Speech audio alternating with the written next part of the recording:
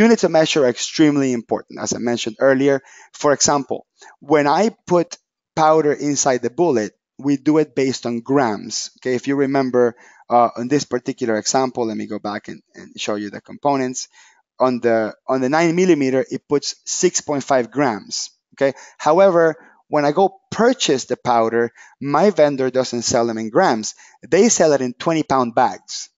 Okay, so what I do is I created a unit of measure set. I'm going to click here and edit and show you how that works. I create a unit of measure set where I have gram as my base unit, and then I created other units. I created the pound itself, and the reason why I do that is because sometimes I may want to count them or adjust them in pounds.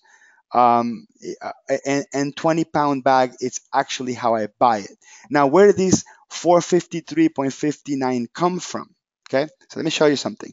If you actually Google conversion pounds to grams or, or, or something like that, if you Google that, um, in, in, the results, you would get uh, a quick uh, Google sort of utility to convert units of measure. So in this point, I can go by length. So if I want to go foot to yard, or if I want to go um, volume, if I want to go gallons to quarts, that sort of thing. So in this case, we're going to choose mass here, and then we'll choose one pound.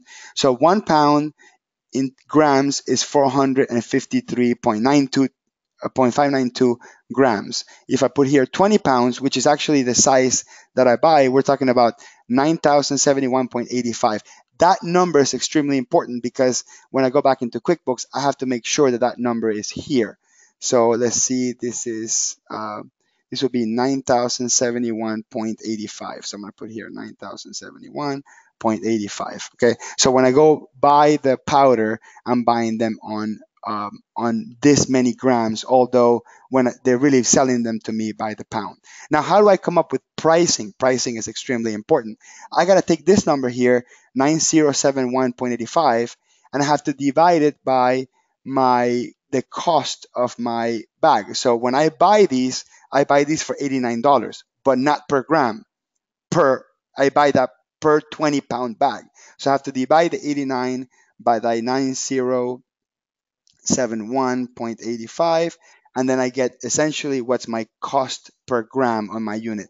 This stuff is extremely important. I, I can't emphasize enough how many people make mistakes um, in, in this part because they don't do the conversions correctly and then their components they all go out of whack okay? So i'm going to go ahead and hit okay.